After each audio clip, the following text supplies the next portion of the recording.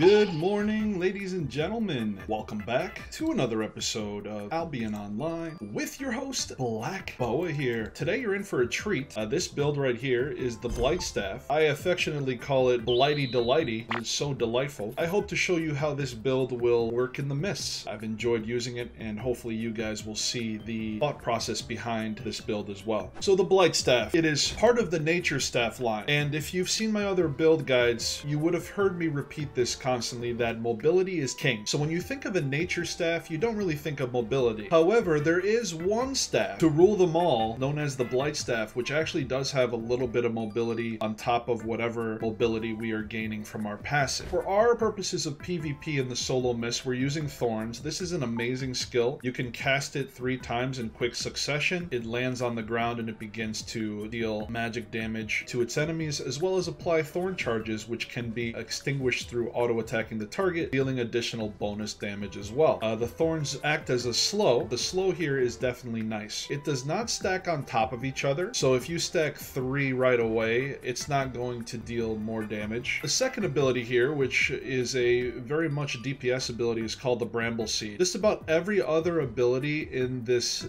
W slot is some form of healing or protection or cleanse. However, for PvP purposes, if we actually want to get kills, we combining consistent damage of Thorns with the burst damage of Bramble Seed. Not only does it deal damage as it hits somebody, 226 magical damage, but after a short delay, Thorns pop out of the ground, dealing another massive 679 magic damage, and it knocks people in the air. So this is a nice CC for us. One CC on this, one CC on this. It's good even though we're not known for moving. As long as we could slow people down, that's a good thing. And last but not least, what I was really excited about was this particular E called the Elevated Nature. Not only does it heal, and not only can it not be interrupted because it's a uninterruptible channel, but this is the key here. It gives you 15% move speed for 6 seconds while you're channeling. You can cancel the channel early by clicking the E button again, and you will lose that move speed as well. I've used this E not only as a way to kite and heal myself in the process, but also as an aggressive tool to try to catch up with people if they're running away from me. Casting Sprint plus this will give you a fair amount of movement speed, and if it just so happens to be the sixth spell cast, you'll even get additional movement speed here of 20% for 3 seconds. We're using this hit and run to give us even more mobility. We are using a cloth chest piece, the Mage Robe, because it has the highest physical attack and magical attack bonus out of all of the regular cloth robes. Your main reason for using it is using Frost Shield like I am. Frost Shield is not only a minor reflect, it, it reflects 15% of damage, but it also increases my damage resistance fairly heavily by 90, and it also slows the target that is hitting me. So this ability here will allow me to build distance, especially against curse staffs and especially against axes. This is really good against curse, against axes, or against anyone who is using DOT damage. So we're going to be using the increased damage on the aggression. We are default using the force field here, which is our knockback. It's always good for kiting and getting people away from you, kiting playstyle with certain weapons, and this is what makes it possible. It knocks people back by 9 meters. And of course, I always enjoy using the plate boots mainly because of rejuvenating sprint. Healing is just king. If you can get it anywhere, you'll probably want to use it, and hence that's why we're using this. However, Wanderlust is nice to have as a blight staff as well. Coupled with our E, it should give us a nice little movement speed boost. So if we ever want to use this to try to track someone down, we could also change to that. Our Thetford Cape, of course, is always used for consistent damage. Because we are trying not to be close to people, I didn't want to use the Avalonian Cape, which could have been a good alternative. You could also use an Undead Cape, but the reason I didn't use Undead here is because I'm a cloth chest piece user. We have the energy cost reduction food, as well as the cooldown reduction we get with the Dust Hole Crab Omelet. And last but not least, we have a nice healing potion to give us additional healing on top of our healing that we get.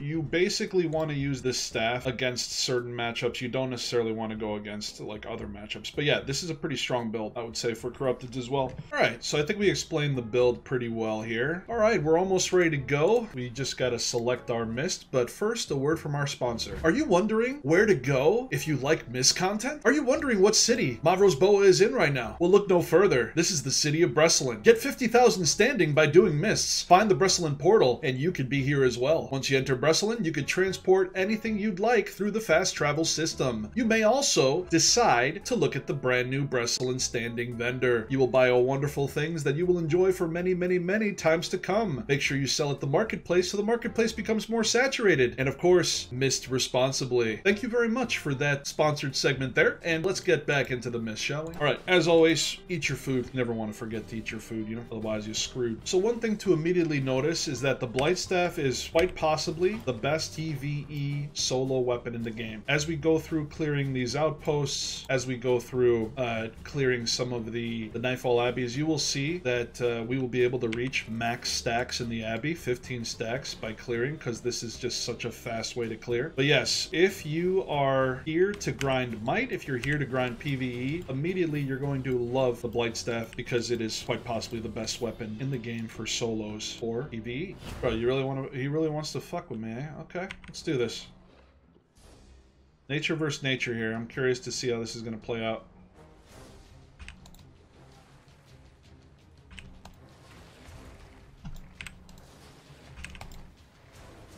Okay, he actually uh, is annoying me right now.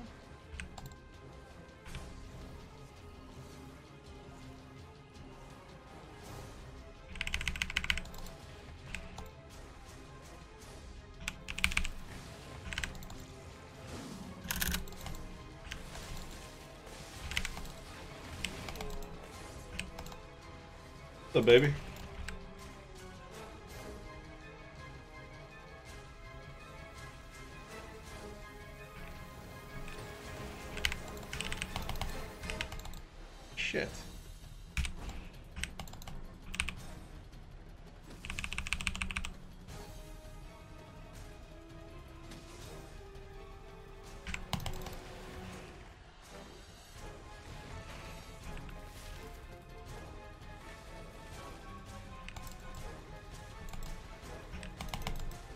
Damn, bro. What the fuck?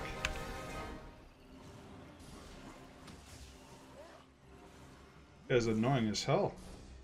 I think he can't get away.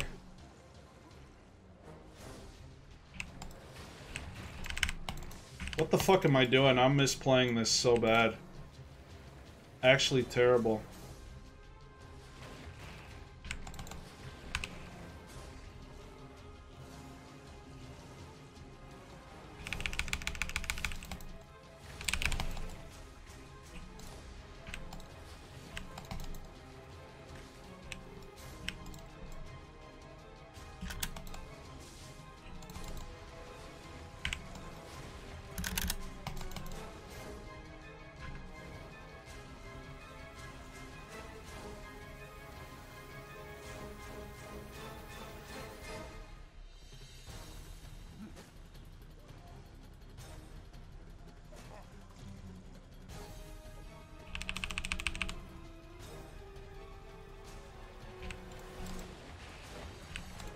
That was huge.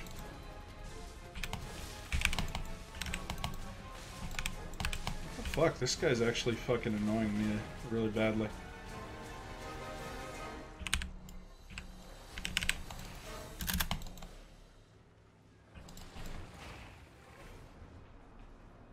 This guy's actually fun. I like this guy. He's doing good. GG.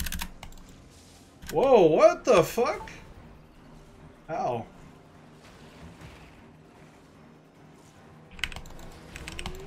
GG, bro. God damn.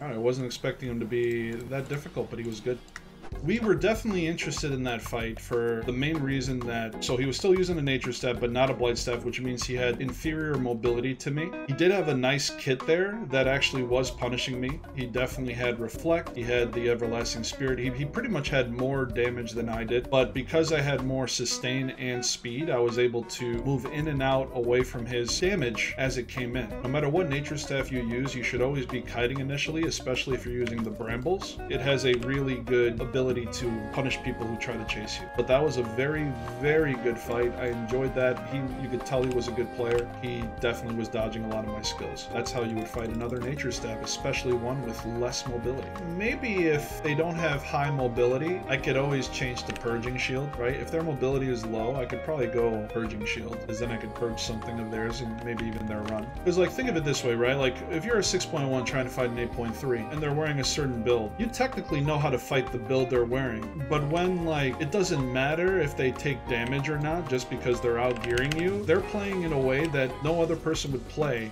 if they had lesser gear, right? Creates like a false play style. Pretty much if you were fair IP, you know how to fight it, but it doesn't matter if it's 8.3, 8.4 because they're just gonna fucking run through everything and just run you down, which is really the biggest problem I think of having 8.3s, 8.4s in here against people like 6.1s. It's just a terrible interaction. This guy using a sickle or using vile curse on me. Uh, I might be willing to try this.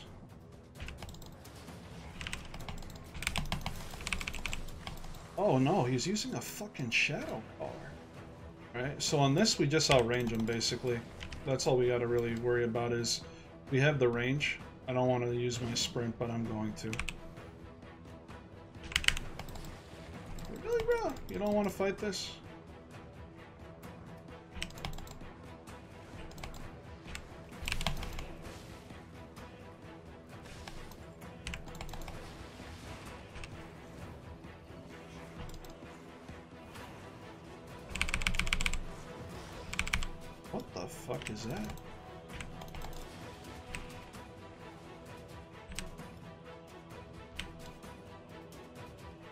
I just need to get rid of these. Okay.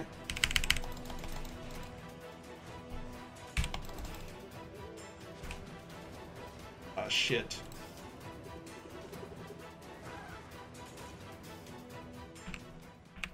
So we made it out alive there. I don't think we would have if he was using just a regular one-hand curse staff. He was using a shadow caller, which is really odd to see. However, the length of his CC was actually incredible. He was rooting me for a long time. That plate chest and whatever else he was using uh, definitely got me rooted for quite some time. So he definitely can get that combo off, the shadow caller combo. Uh, but we did have distance on him because he was using Vile Curse. He was not using the Curse Sickle. And so we were kind of able to volley a little bit. If the other guy didn't come, I think I could have won eventually. But if you guys didn't notice, one of the one of the key things that happened there was this. When you're fighting a uh, when you're fighting a curse staff especially, frost shield is amazing because every time they dot, they're getting slowed. Hence, you're building distance so they can't keep dotting you. In addition, we also use this effectively, knocking them back so they can't keep dotting us. So really, we we played parts of that well. I think I did take too much damage overall. I wasn't very good at uh, dodging his roots. I don't think we're overpowered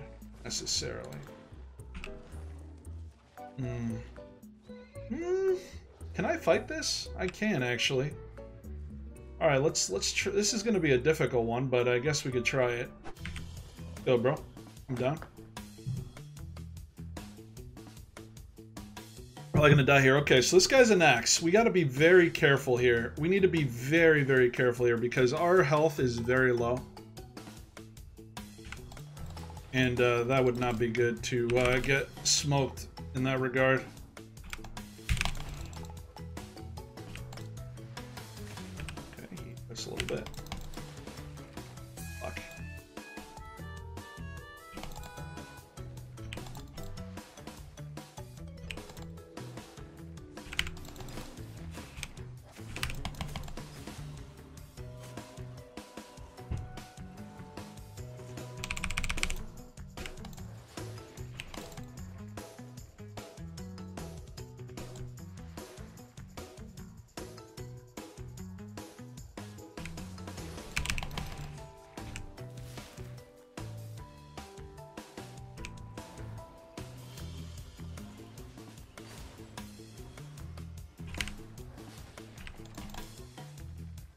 Bro, you're gonna play that way, I'm gonna fucking get away too. See, he doesn't want any of it.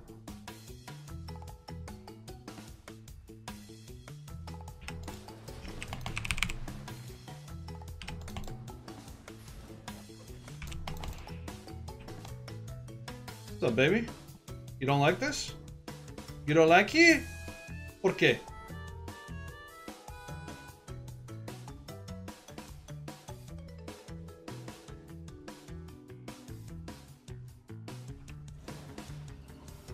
He's actually running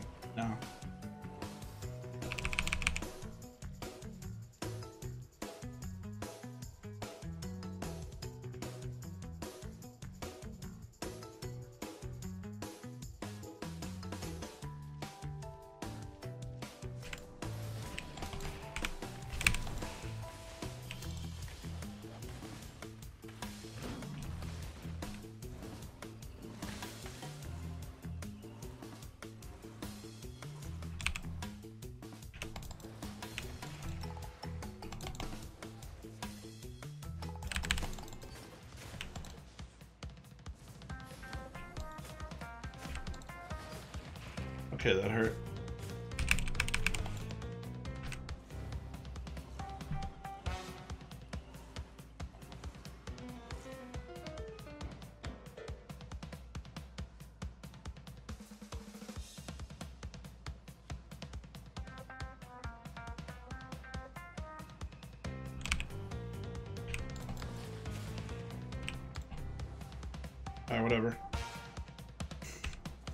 I don't think this guy wants anything to do with it. So, we definitely can hold our own against that. That guy was at least 200 IP ahead of us. All we have to do is every time he freaking dots us with a bleed, pop R immediately. Every time he gets close with the leap combo that he was doing, Battle Rush, the moment he starts swinging uh, his axes and stuff, we just pop him with a D. We, we knock him away. Uh, and then, of course, we build distance with the slows and the bramble. Pretty much we had that guy covered. The only problem is we would not have enough mobility to probably catch the guy. We'd have to put ourselves in a death scenario in order to bait him in because he actually has the advantage in mobility. So that's how you would fight a battle axe. I'm not really worried too much about them if I play it like that. Here's a Nightfall Abbey. Alright, so in the Nightfall Abbey, Nature Staff reigns supreme in terms of stacking the buffs. We actually stacked 15 buffs, which is the highest. We actually tried to see how high it went. We actually probably got closer to 20, but the highest it went was 15. So just just know if you want to be a freaking Super Saiyan stacker, pretty much use this Blight Staff and you'll clear these camps like nothing. Get all the stacks, and then you probably will have a huge advantage against people in here. So consider that, that we become very strong because of our clear speed in the Abbey. And that could mean, you know, the ability to kill people who we have no business killing. Okay, I can take this guy. Shit. Shit, does he have... He does have shadows.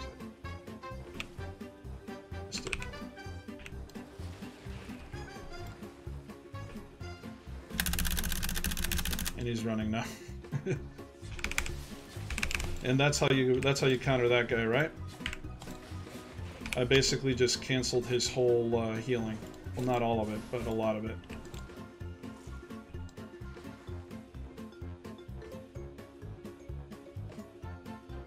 This guy actually could be kind of scary.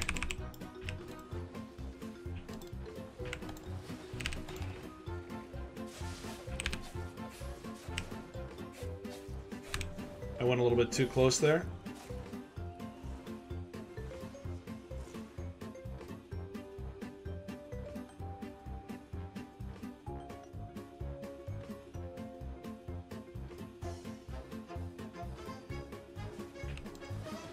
Oh, this guy's so fucked now. Later, baby.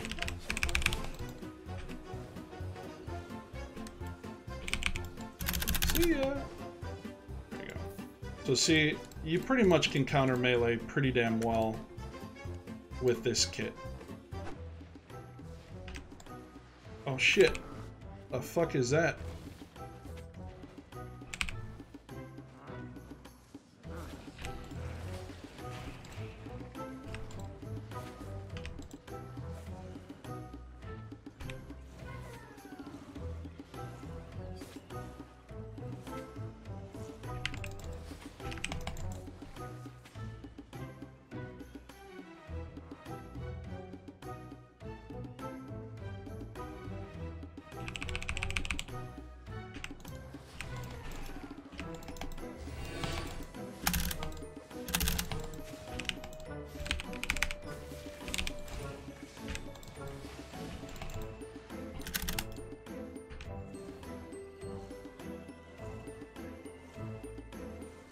Come on now. It's an auto attack and this guy's ours.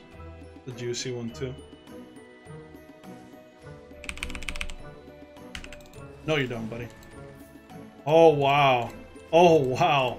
Nice. Alright, very nice. That is 2.2 mil right there, Chad. I think we go deposit. Alright, so we got lucky there. We, uh, we ratted that situation clearly, but we actually played it quite well.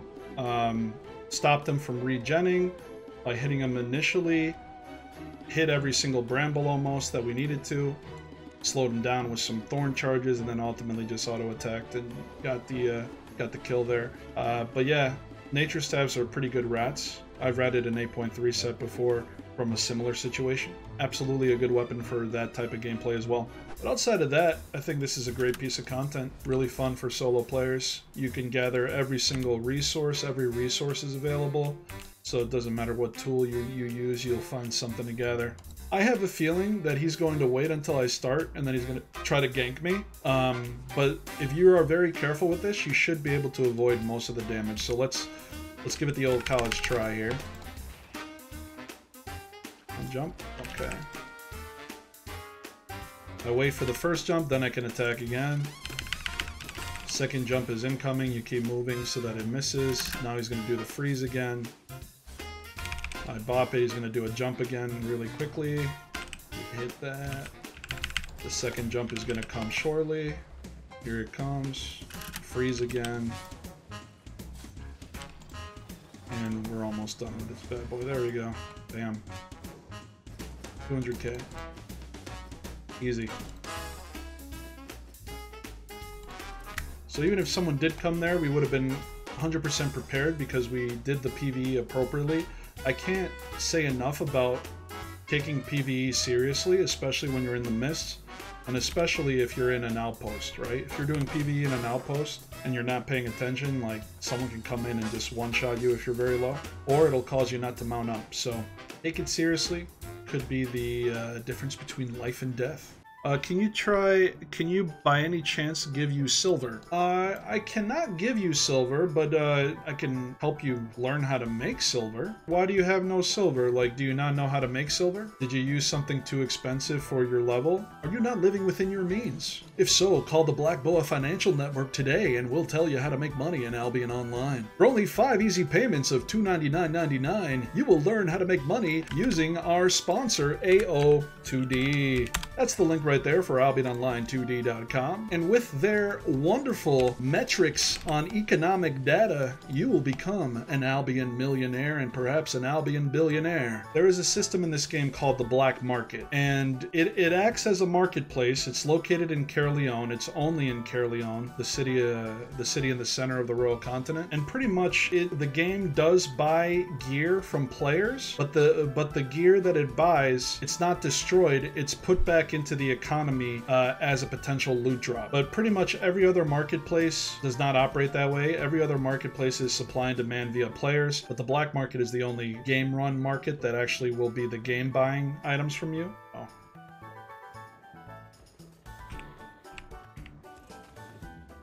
It's Bowie.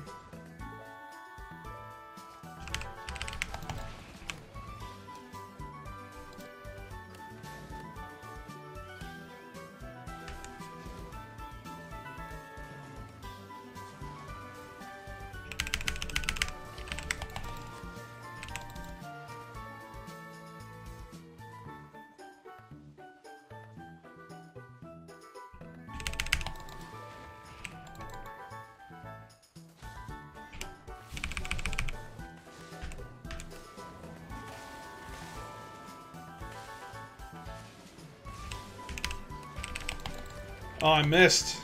Not good. I missed.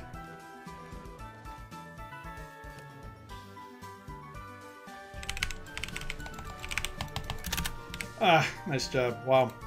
Good on him. If I just freaking hit that last, uh, that last bramble, I think I could have had that, but fuck.